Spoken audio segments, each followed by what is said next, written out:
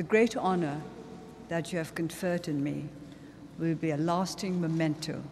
of the steadfast support of the United States Congress for the democratic aspirations of my people. From the depths of my heart, I thank you, the people of America, and you, their representatives, for keeping us in your hearts and minds during the dark years when freedom and justice seemed beyond our reach.